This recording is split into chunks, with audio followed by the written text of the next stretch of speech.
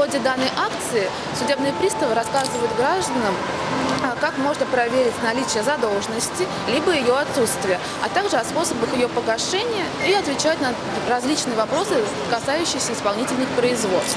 Гражданам рассказывают о том, какими именно информационными сервисами можно воспользоваться. Например, банк данных исполнительных производств, ко- который находится на официальном интернет-сайте Федеральной службы судебных приставов.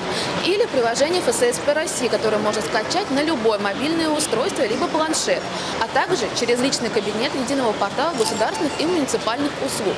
А, На данном портале через личный кабинет вы можете записаться на прием, можете отправить обращение, либо ходатайство судебным приставам.